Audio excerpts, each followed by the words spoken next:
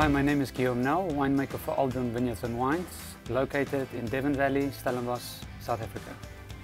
Today we're going to taste the Chardonnay.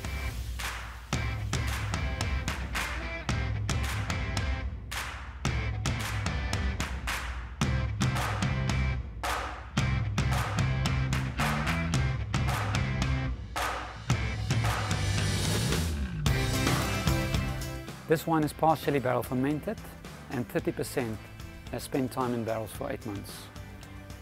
When we smell this wine on the nose you get some nice citrus, a bit of butteriness, but it's very well integrated wood.